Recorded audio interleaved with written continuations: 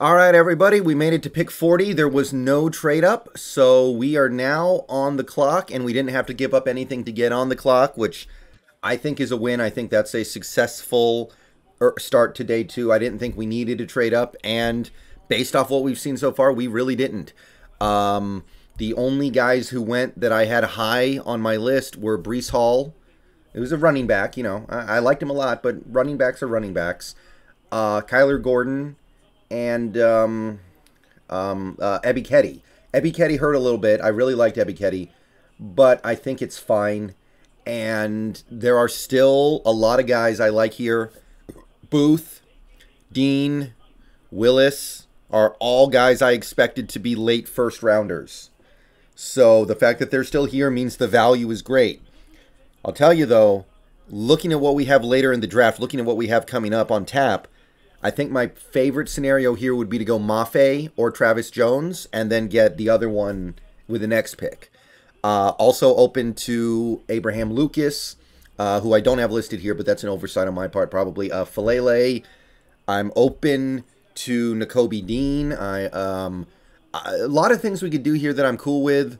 Um, if it is a quarterback, I'm gonna have reservations about it, whoever it is but I, I, can get I get it and I can get behind it because I do think some of these quarterbacks have at least potential. I don't, especially at this pick, I don't hate any of them. All right, here we go. Goodell's coming out. What do we got? What do we got?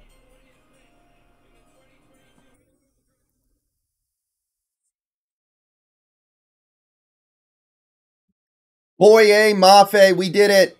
We did it, guys. We did it again. We hit. I love it. I love it. I love it. I love it. He was one of my favorite guys left. Given the fact that the edge crop starts to fall off around this point, he was probably the guy I wanted more than anybody. Let's go. Boye Mafe. We didn't trade up to get him. I liked him more than Ebiketie. It was close, but I liked him more.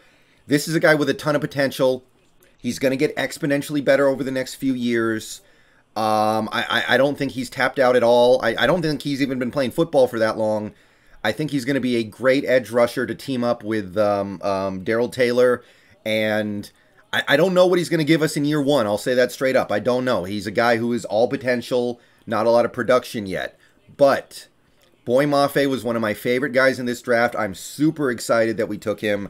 And I got to say that based off this first pick, it's it, this day two is off to a wonderful start in my view. Uh, we're getting everything right.